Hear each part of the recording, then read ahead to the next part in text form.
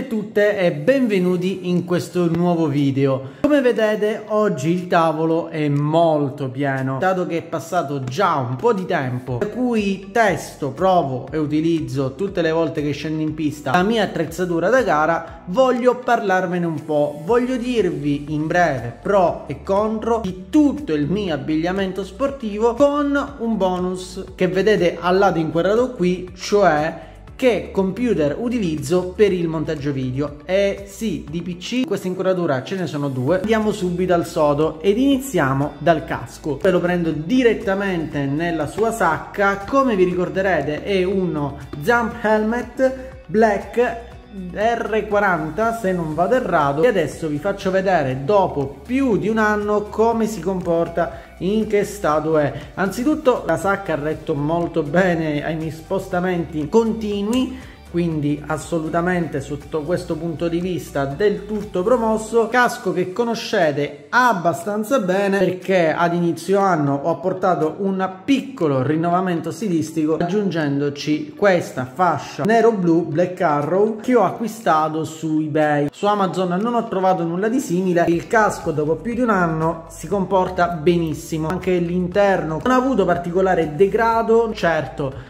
c'è un po' di tessuto consumato, lo vedete qui, lo vedete anche qui, ma questo perché ovviamente all'interno del casco sudo, dunque è normale, è del tutto normale, però la bontà dell'interno del tessuto, la comodità, anche questi inserti qui morbidi sono assolutamente rimasti come il primo giorno. Anche la chiusura è rimasta solida come il primo giorno, a livello invece di traspirazione, queste piccole prese d'aria qui e qui, il casco per come è progettato, vedete anche qui queste altre due prese d'aria, riesce a garantire un comfort abbastanza decente. Quella che vedete è ancora la visiera data di fabbrica si è graffiata graffi in questa posizione non mi dà particolari problemi c'è un però cioè che questa si vede essere una visiera di fabbrica nel senso che il suo lavoro lo fa molto bene è molto solida chiude bene anche le guarnizioni qui presenti riescono a fare egregiamente il loro lavoro tuttavia tende a sporcarsi e graffiarsi abbastanza facilmente non è un grosso problema si trovano visiere sostitutive anche direttamente dal sito della Zamp però se cercate qualcosa di un po' più professionale, di più solido, il casco in sé per sé di base va bene, magari la visiera acquistatela a parte. Casco assolutamente promosso, mi conferma le ottime impressioni che avevo avuto quando l'ho acquistato e anche omologato, dunque direi che lui continuerà ad essere, salvo imprevisti, ancora il mio compagno di gara per un bel po'. Passiamo adesso all'altro grande protagonista delle mie gare, una delle parti d'abbigliamento che mi è costata di più in assoluto assieme al casco. Di cosa sto parlando?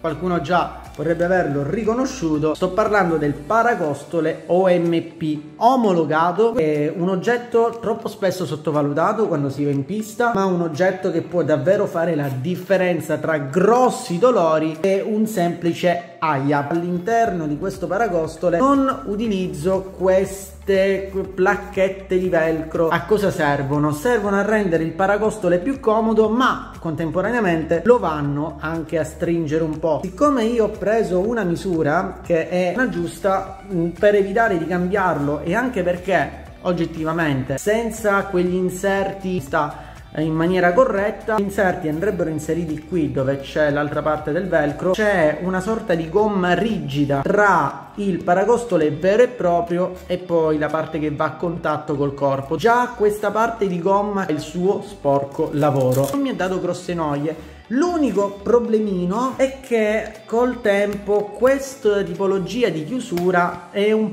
po' problematica tende a consumarsi. Cosa voglio dire? Voglio dire che all'inizio molto difficilmente mi si apriva il paracostole. Adesso andando avanti nelle gare, questa chiusura tende ad aprirsi facilmente e vediamo se riesco a farvelo vedere in camera. Se notate, questa parte è un po' più bianca perché è consumata e giustamente è consumata perché è proprio quella parte che è sotto sforzo durante le gare. Quando io vado a sterzare in pista, tendo ovviamente ad allargare il petto. C'è un grande vantaggio però che sono queste linguette in velcro. Queste si inseriscono qui vanno a chiudersi in questo modo con il paracostole più chiuso e meno soggetto a queste sollecitazioni. Queste cose che vedete qui non è sporcizia sono pelucchi che vengono dall'interno della tuta difficili davvero molto difficili da fare andare via. Per il resto abbastanza comodo ci sono anche queste tracolle da mettere sulle spalle per tenere questo KS1 Pro ancora più saldo. Quando ho avuto degli incidenti questo qui mi ha davvero protetto molto bene perché sentivo la botta ma non ho avvertito nessun dolore. E questo paracostole acquisisce peraltro un'importanza ancora maggiore vista che come vedete qui lo sapete già da qualche gara utilizzo il giubbino zavorrato metto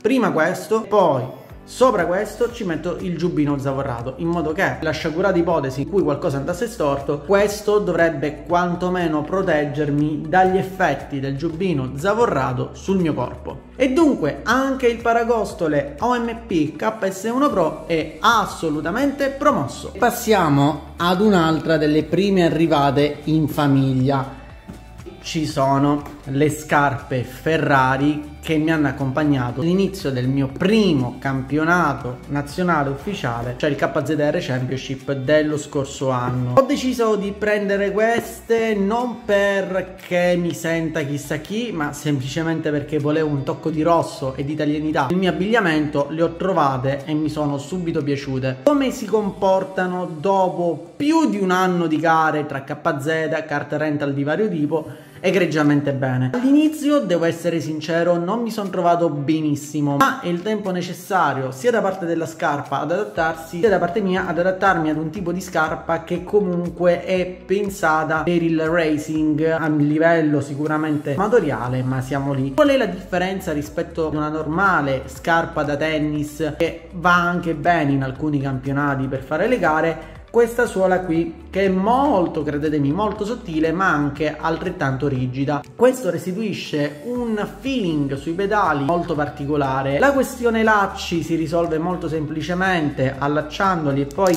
facendoli rientrare all'interno di questa linguetta che come vedete dopo più di un anno regge ancora benissimo. Quello in cui non mi trovo tuttora bene ma è una questione mia è questa cosa qui questo colletto qui che è molto utile per nascondere i lacci. Serve anche ad accompagnare meglio la caviglia però io tendo ancora a non riuscire ad abituarmici al meglio. Ci sono qui le imbottiture, la scarpa al suo interno è davvero molto molto comoda. Non ci sono particolari problemi, la scarpa non si è scucita. Certo magari un po' il colore qui è andato via, ma sono le parti più sollecitate, più esposte quando si fanno le gare. Per il resto è una scarpa che ancora oggi regge benissimo, dunque più che promossa. Eh, mi sono dimenticato di dirvi le misure. Del casco ho preso la S, del paracosto la M. Queste invece andiamo a vederle insieme è un 44 che è la stessa misura delle scarpe da tennis che porto tutti i giorni. Altra cosa, la suola in gomma sale fin qui, fino a dietro il tallone, rende la scarpa ancora più rigida. Il modello preciso è il 312-22, ovviamente scuderia Ferrari. Altro oggetto immancabile in un abbigliamento karting sono i guanti, sono fondamentali, soprattutto per me che ho le mani un pochetto delicate, questa zona qui i calli tendono ad uscire in maniera abbastanza semplice. Ve li faccio vedere, sono degli Sparco Land Plus omologati, entry level dei guanti omologati Sparco. Omologa la vedete qui, è un'omologa valida fino al 2032 e cosa vuol dire omologa? Vuol dire che garantiscono degli standard di sicurezza, danno anche una minima protezione contro eventuali incendi che si potessero andare a verificare. Preferisco acquistare dei guanti che mi durino tanti anni senza avere il pensiero in ogni pista che vado, in ogni competizione, per stare attento a quale omologa c'è, non c'è, se posso scendere in pista o meno. Qual è il grande vantaggio di questi guanti, oltre ad essere omologati ovviamente? Quello di avere questi inserti qui in gomma che danno decisamente maggior attrito sul volante, maggior controllo. Parti in gomma che si estendono anche alle dita, come ben vedete. Questa differenza qui un piccolo stacco con un po' di tessuto mentre qui e qui no è voluta per permettere a queste due dita di muoversi in maniera più agile, dato che spesse volte se si ha il cambio al volante si utilizzano proprio queste due dita per cambiare le marce. Ho preso la nona misura, mi stanno divinamente, ve lo faccio anche vedere. Sono dei guanti elasticizzati che consentono di adattarsi molto bene alla mano. Io ho una mano mediamente grande, misura 9 mi sta perfettamente, ma intendo proprio perfettamente, le dita mi arrivano qui, guanti davvero comodi. Parliamo un po' degli ultimi arrivati invece in famiglia, cioè le ginocchiere e i paragomiti. Questi qui sono arrivati dopo le mie prime prove al cartodromo Ischero che mi ha fatto rendere conto dei pericoli che ci sono su certe tipologie di piste soprattutto quando in pista c'è gente non proprio esperta. La mia scelta è dunque ricaduta su queste ginocchiere Mombessi. Vi metto qui sotto i vari link per acquistare tutti i prodotti che vi sto facendo vedere con i prezzi aggiornati ad oggi. Ovviamente sono comodi. All'inizio ho avuto qualche difficoltà ad adattarmici. Una volta che si capisce come indossarli, si acquisisce un po' il meccanismo, diventa tutto molto molto semplice. Perché dico questo? Perché queste ginocchiere, io non le avevo mai utilizzate prima in vita mia, vanno applicate al ginocchio, mettendo quindi questa parte qui sul ginocchio, consiglio magari tendete a metterle un po' più spostate verso l'interno. E poi bisogna avere un po' di diciamo abilità nel far combaciare queste due parti di velcro dietro le ginocchia e far sì che siano strette ma non troppo. Quindi ci dovete prendere un po' la mano ma una volta fatto sarà tutto molto molto semplice Vedete che qui all'interno è bucherellato per garantire traspirazione. Se ginocchiere non sono nello specifico pensate per il karting è un'applicazione che sto facendo io ma vanno più che bene. Queste sono molto molto molto più imbottite delle polsiere ma va anche bene così perché se in queste polsiere ci fosse stata questa tipologia di imbottitura, vedete quanto è spessa, avrebbe generato problemi di mobilità del polso che non è mai il massimo. Tuttavia queste polsiere fanno anche il loro sporco lavoro, sono molto semplici da indossare, si indossano in questo modo, facendo corrispondere la metà della parte imbottita al gomito, poi si piega tranquillamente e la mobilità è garantita assieme alla sicurezza anche questi due assolutamente promossi. Ed arriviamo a lei, alla tuta Speed Racewear Level 2 Barcellona RS3. Misura M perché ho scelto questa tuta prima di ogni cosa l'ho scelta perché è una tuta omologata FIA quindi con questa potete fare tutti i campionati che richiedono un'omologafia ed è una tuta entry level. La marca non è molto conosciuta, dico purtroppo perché la tuta è di ottima qualità. Faccio vedere dopo più di un anno questa qualità che cosa voglia dire. Ci ho fatto alcune modifiche, lo sapete bene, ho inserito i social qui. Nell'arco di un anno di gare dove qui dentro ci ho sudato, ho sentito freddo, di tutto e di più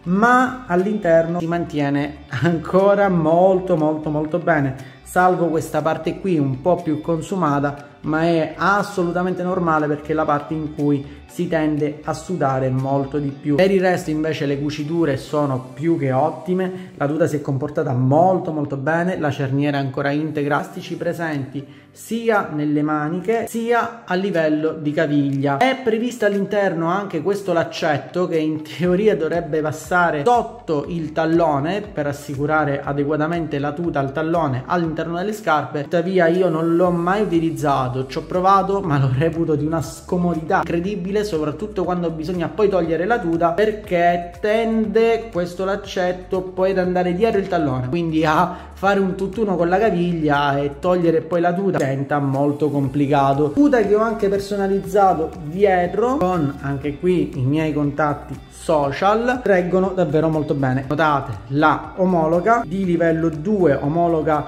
valida fino a dicembre 2026 e che dire ragazzi per il prezzo che ha è più che ottima, vi garantisce sicurezza in pista, possibilità di correre nelle competizioni che prevedono abbigliamento con omologa, il miglior entry level che abbia trovato. Ha anche il velcro elasticizzato, questa parte qui dietro è elasticizzata, per la chiusura della tuta. Io peso 55-56 kg con il paragostole e il giubbino paragostole di cui vi parlerò tra poco. L'elastico con la misura M chiude dritto dritto. Chiude su tutta la superficie del velcro però si vede che la tuta è un po' tirata senza invece il giubbino zavorrato la tuta mi sta molto bene comunque se siete alti più o meno 1,60 65 e pesate più o meno tra i 64 e i 68 kg anche 70 senza il giubbino zavorrato la misura M della Speed Racewear va più che bene anche questa dopo più di un anno e mezzo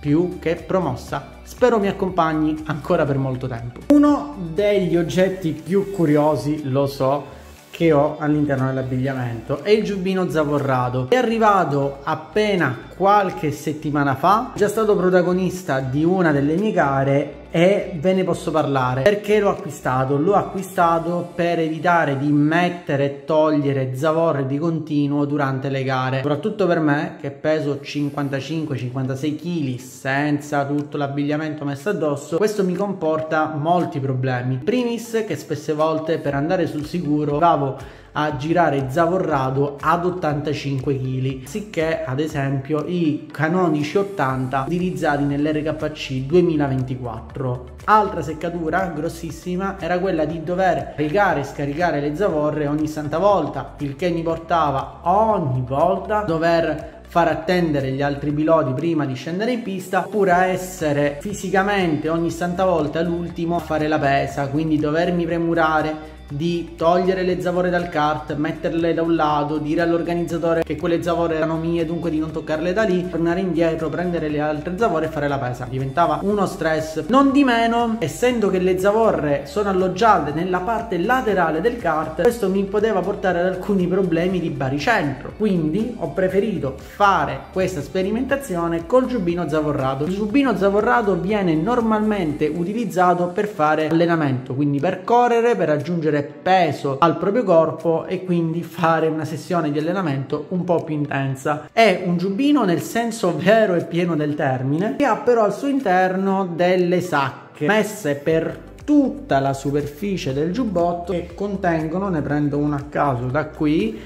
questi sacchetti qui possono essere sacchetti di sabbia oppure come nel mio caso sono dei sacchetti in plastica esterna con dentro delle palline di metallo palline di metallo da mezzo chilo circa ciascuno che nella loro somma compongono 20 kg dunque questo giubbino zavorrato è un giubbino da 20 kg fate attenzione perché non tutti i giubbini zavorrati sono da 20 kg molti sono da 15 altri da 10 altri ancora da 5 altri non includono queste sacchette qui. Non sono sacchetti difficili da inserire ma nemmeno facilissimi. Bisogna anche qui un po' farci la mano ma è ottimo perché questa cosa evita che vengano fregati o persi facilmente. Ogni alloggiamento ha anche una linguetta elasticizzata l'intero giubbino di base è elasticizzato indossarlo. Non è semplice perché ovviamente lo indossi con i pesi già inseriti se no è un casino metterli dopo soprattutto nella parte posteriore è proprio impossibile ma anche in internamente. Non è semplice inserirli quando lo ha indossato. Questa è una misura unica. Io ho qualche difficoltà a chiudere la cerniera perché sotto ho il paracostole senza il paracostole non avrei assolutamente alcun problema. Il suo sporco lavoro lo fa è ben bilanciato. Ovviamente poi bisogna stare attenti a togliere i pesi in maniera corretta. Ad esempio vedete che qui non c'è un peso e non c'è nemmeno qui ho cercato di toglierli in maniera pari da un lato e dall'altro idem anche all'interno. Dove li ho tolti all'interno ho cercato comunque di mantenere una certa simmetria per distribuire bene il peso. Portare questo in pista vuol dire anche avere il baricentro assolutamente centrale quindi non avere pesi particolari da un lato o dall'altro. Sì lo so cosa state per dire. A livello di sicurezza è un rischio? Non lo so spero di non scoprirlo mai però ho il paracostole omologato sotto la tuta, un paracostole di un certo costo, di un certo tipo, quindi vado abbastanza sul sicuro, finora si è comportato davvero molto bene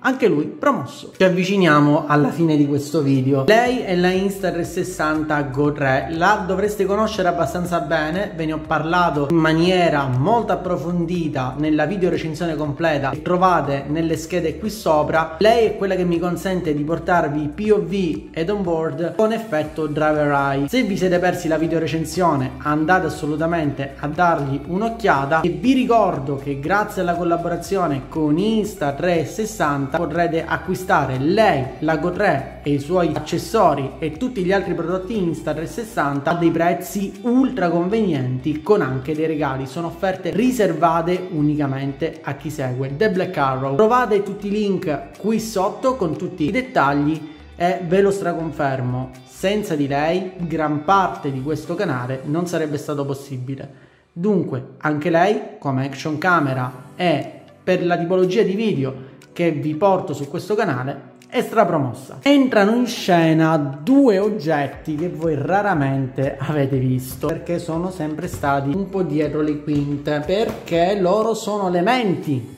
o meglio gli elaboratori dietro tutti i video del canale perché sono due Ve lo spiego e parto da lui. Lui è il mio vecchio PC, lasciate perdere un po' gli adesivi che ci sono qui, rappresentano tutti gli anni che questo PC mi ha accompagnato. È un Acer Aspire 5742G con scheda grafica Nvidia GeForce, quindi grafica dedicata. Lui mi ha accompagnato più o meno dal 2011 2012 fino a qualche mese fa. È stato il mio compagno di viaggio in giro per il mondo, un PC che mi ha consentito di portarvi darvi dei contenuti aggiornati anche nel 2024 con una qualità video direi più che decente qui vedete tutto il peso degli anni di questo computer ma un computer che vi posso assicurare senza il quale io moltissime cose non le avrei assolutamente fatte. Un pc che è stato soprattutto affidabile nell'arco degli anni. 8 GB di RAM 750 GB di hard disk. Quando mio padre lo acquistò lui era assolutamente un top di gamma. L'essere un top di gamma lo si è visto perché appunto per più di 10 anni è riuscito a stare al passo coi tempi. Cosa l'ha reso non più utilizzabile qualche mese fa? Purtroppo il fatto che qualche settore dell'hard disk interno si sia danneggiato. Lui già di base aveva parecchia difficoltà. Infatti il software che utilizzo in questo momento per editare i video è Microsoft Microsoft Clipchamp è un software leggero ma assolutamente ottimo secondo me molto sottovalutato ne parlerò a brevissimo. Il suo pensionamento era già previsto verso luglio-agosto di quest'anno non ce l'ha fatta ad arrivare fino a quella data quindi i prodotti sono fatti bene durano durano durano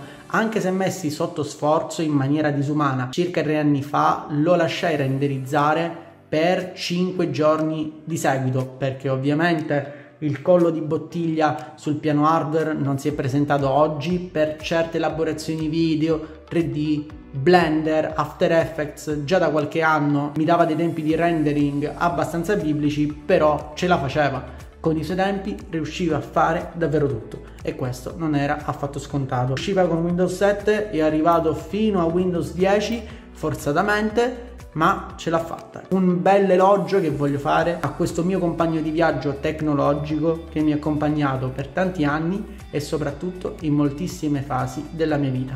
Ancora grazie.